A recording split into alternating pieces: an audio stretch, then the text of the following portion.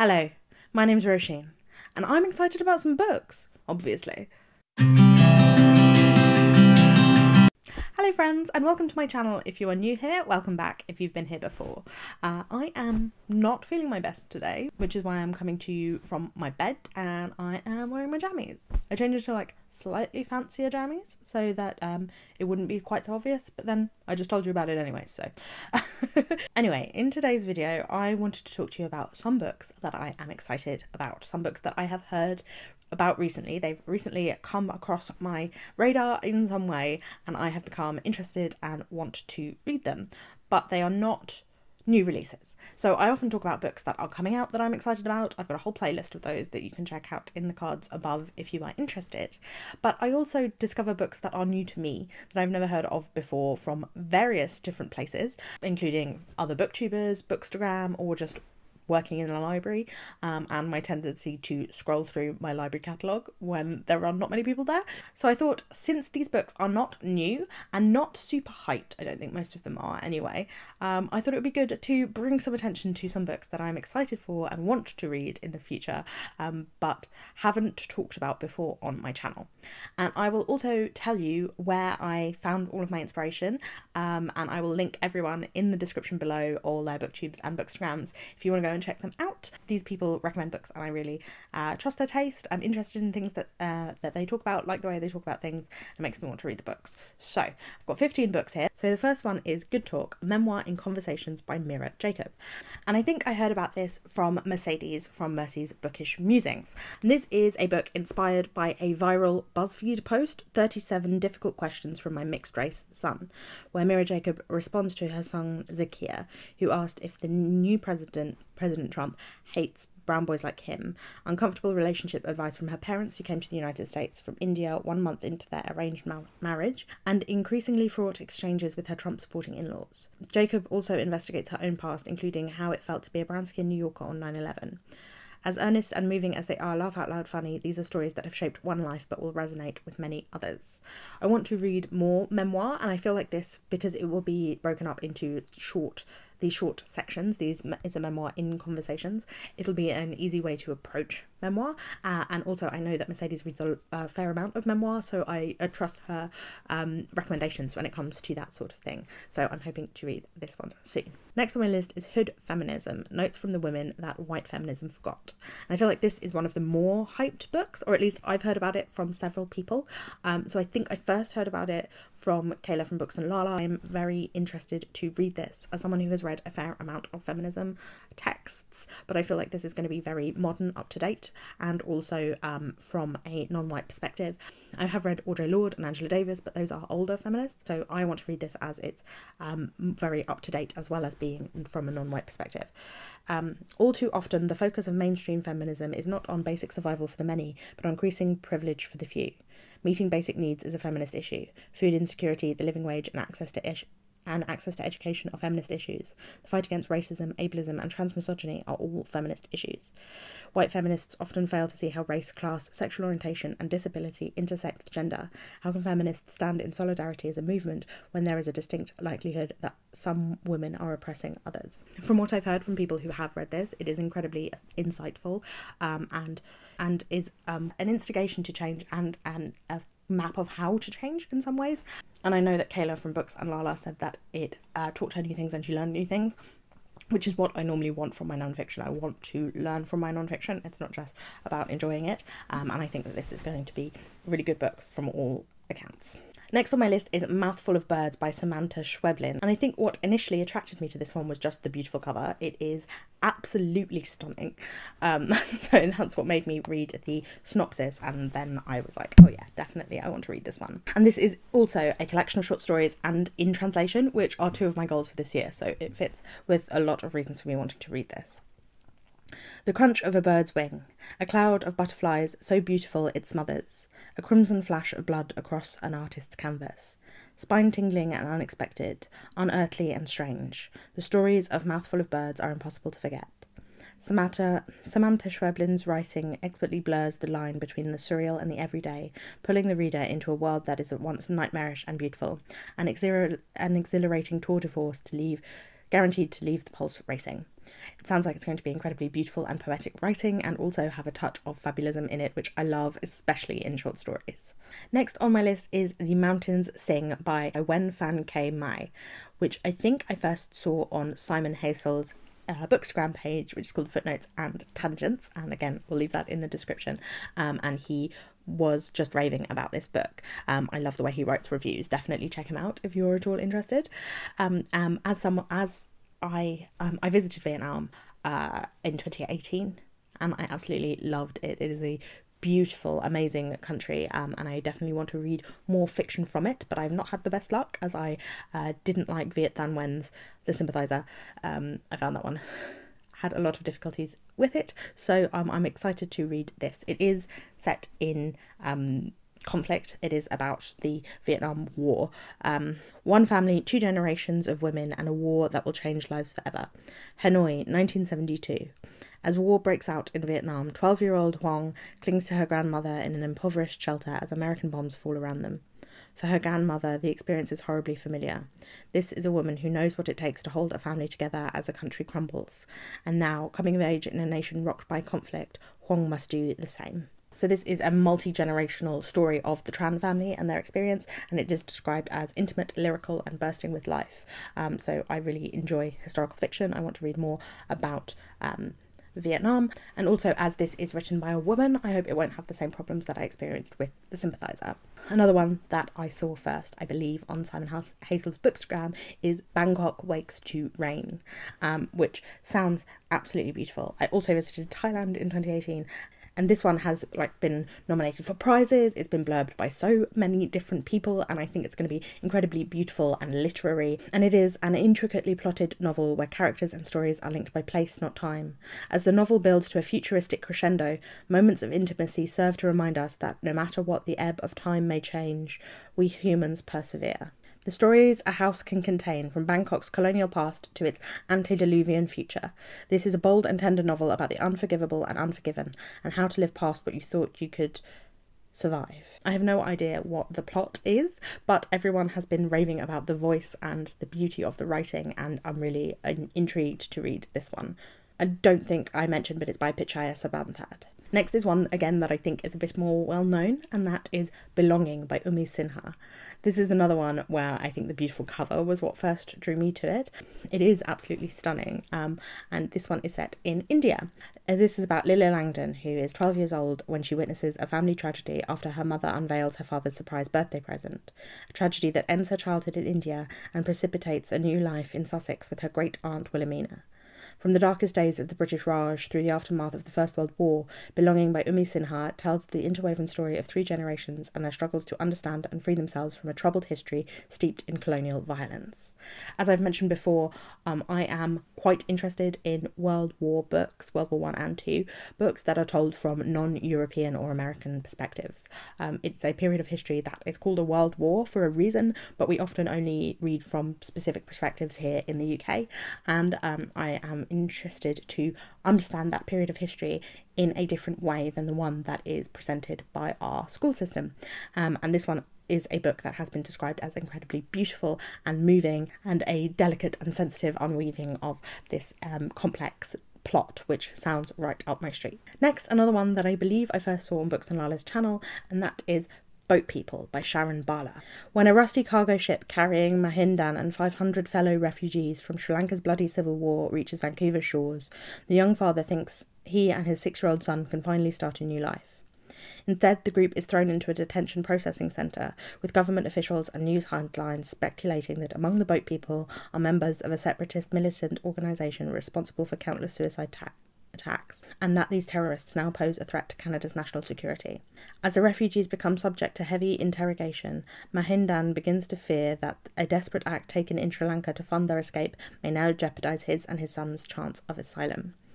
I want to read more narratives about um, asylum and uh, immigration. I read Amnesty by Aravind Adiga, which was also about a Sri Lankan uh, asylum seeker, although he uh, was an undocumented immigrant because they didn't accept his reasons for being an asylum seeker. Um, I feel like it's really important to read about uh, both nonfiction and fiction, um, but I've heard so many good things about this novel and the beauty of the writing and how poignant and moving it is, and that is why I want to read it.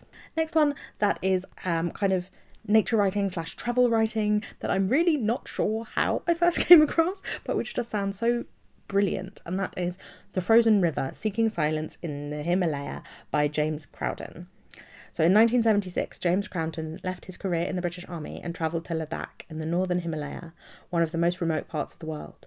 The Frozen River is an extraordinary account of the time he spent there, living alongside the Zangskari people before the arrival of roads and mass tourism. James immersed himself in the Zangskari way of life, where meditation and week long mountain festivals go hand in hand, and silence and solitude are the hallmarks of his existence. When butter traders invite James on their journey down the frozen river Leh, he soon realizes that this way of living, unchanged for centuries, comes with a very human cross.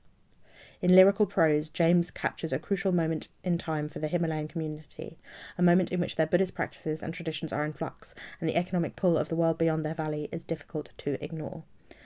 I've heard that this is so beautiful and lyrically written, as the uh, blurb mentions, and also that it is really sensitive to um, the culture with which James is living, um, and um, it is very much about humanity and the slowness and the silence and the movement. And um, it sounds like the sort of travel writing that I find personally really interesting and intriguing. So um, I definitely want to read that one soon. Next on my list is That Reminds Me by Derek Owusu, which Becky Reads Books on Bookstagram has been absolutely raving about for the past year. And so I really, really want to read it, especially when it came into the library. And it's really, really short. And I am really interested in reading more novellas and shorter fiction because it's not something that I've explored a lot. Um, and but this is a really really short book that is about the care system in Britain, which again is a topic that I feel like I re- want to read more about. Um, this is the story of Kay. Kay is sent into care before a year marks his birth. He grows up in fields and woods, and he is happy. He thinks. When Kay is eleven, the city reclaims him. He returns to an unknown mother and a part time father, trading the fields for flats and a community that is alien to him. Slowly, he finds friends. Eventually, he finds love, he learns how to navigate the city, but as he grows, he begins to realize that he needs more than the city can provide. He is a man made of pieces, pieces that are slowly breaking apart. So it um, explores addiction and mental health and the British care system and racism inside the British care system in all in really like lyrical experimental prose as far as I'm aware. Completely original, um, I think. Becky uh, Becky Reads books said it was like nothing that she had ever read before and it was her favourite novel and so incredibly moving. Um, and so I definitely want to read it soon. Um, and as it's so short, I feel like I should be able to fit it in. Next on my list is a book that I actually own that I bought in December, and I was drawn to it because it was the Foyles book of the year 2020. That's why I picked it up, um, but I have yet to read it, and I haven't really heard anyone talking much about it. And that is A Ghost in the Throat by Doireann Ni Ghriofa. This, again, is an incredibly beautiful novel and by an Irish writer, which is something that I want to do more reading of as someone with Irish parents um, and who considers themselves to be Irish. I feel like I need to read more books by Irish writers. And also, Doireann Ni Ghriofa is a poet, and I love love reading uh, prose by poets because I feel like they can do so many beautiful things with language. Sometimes they struggle with structure, but I am with um, this being such uh, with Foyles rating this book so highly, I feel like that won't be a problem here. This weaves together two stories. In the 1700s, an Irish noblewoman, on discovering her husband has been murdered, drinks handfuls of his blood and composes an extraordinary poem that reaches across the centuries to another poet. In the present day, a young woman narrowly avoids tragedy in her own life. On encountering the poem, she becomes obsessed with finding out the rest of the story. As someone who writes poetry myself, I will leave my poetry Instagram in the description if you'd like to go and check out some of my poems. As someone, as I mentioned, who is Irish, um, this mixture of auto fiction and historical fiction, um, the, written by an Irish poet, it just seems like entirely up my street. So I'm really excited to read that, and I feel like even though I haven't read it yet, it's not that hyped. I feel like it should be, just because that premise sounds so brilliant. Next on my list is Guest House for Young Widows Among the Women of ISIS by Azadeh Moaveni. And this one I definitely saw on Hannah from Let's Talk About Books' channel. Um, she was talking about this as being um, a really different look from the way that British media portrays the girls who go to ISIS uh, or go to Syria, um, the Middle East, to uh, join ISIS, and um, it is a really important piece of journalism where I believe Mo interviews women. Um, an intimate, deeply reported account of the women who made a shocking decision to leave their comfortable lives behind and join the Islamic State. In early 2014, the Islamic State clinched its control of Raqqa in Syria. Baghdadi, the leader of ISIS, urged Muslims around the world to come and join the caliphate. Having witnessed the brutal oppression of the Assad regime in Syria, he moved to fight for justice. Thousands of men and women heeded the call. At the heart of this story is a cast of un- unforgettable young women who responded Emma from Germany, Sharmina from Bethnal Green, London, Noor from Tunis. These were women, some still in school, from urban families, some with university degrees and bookshelves filled with novels by Jane Austen and Dan Brown. Many with cosmopolitan dreams of travel and adventure. But instead of finding a land of justice and piety, they found themselves trapped within the most brutal terrorist regime of the 21st century, a world of chaos and upheaval and violence. What is the line between victim and collaborator? How do we judge these women who both suffered and inflicted intense pain? What is the role what role is there for Muslim women in the West? the Caliphate's OBGYN and its guest house for young widows, where wives of the fallen waited for to be remarried, to demonstrate the problem called terrorism is a far more complex, political, and deeply relatable, relatable one than we generally admit. So, um, a lot of the time in the UK, at least, and I guess in the rest of the West, women who travel to be part of the Caliphate in Syria were either considered to be like uh, horrible monsters um, and stripped of their citizenship, like Samina Begum, or they were considered to be like complete victims. Um, and I suppose this book explores the line between that and what actually happened, what it was really like, um, aside from the way that our media portrays and presents it. And um, Hannah from Let's Talk About Books Baby really seemed to enjoy this and talked about um, talking about it with some of her Muslim friends and the way that it portrayed it. And I think um, it just sounds really, really interesting, and I would love to read it. Next one that um, I first saw on Claire Fenby's Instagram page, but she has recently made a video about it as well, uh, which I'll leave in the cards. This is The Beau Monde Fashionable Society in Georgian London by Hannah Grieve. Completely different tone from the last book, um, but equally one that I'm really interested in. I, as I've mentioned many times before, I'm interested in learning more about the 18th century um, because it is the period of history we jump from the English Civil War, which uh, ended in 1660, the English Civil War and the Interregnum, which ended in 1660, to the Victorian period, which began in 1837, um, conveniently skipping over the majority of empire building. Um, but it is a period of history that I want to learn more about, and this is specifically about the world's fashion obsessed society in 18th century London. Caricatured for extravagance, vanity, glamour, celebrity, and all too often embroiled in scandal and gossip, 18th century London's fashionable society had a well deserved reputation for frivolity. But to be fashionable in 1700s London meant more than simply being well dressed. Fashion denoted membership of a new type of society, the beau monde, a world where status was no longer determined by coronets and country seats alone, but by the more nebulous qualification of metropolitan fashion. The beau monde leads us on a tour of this exciting new world, from court and parliament to London's parks, pleasure grounds, and private homes.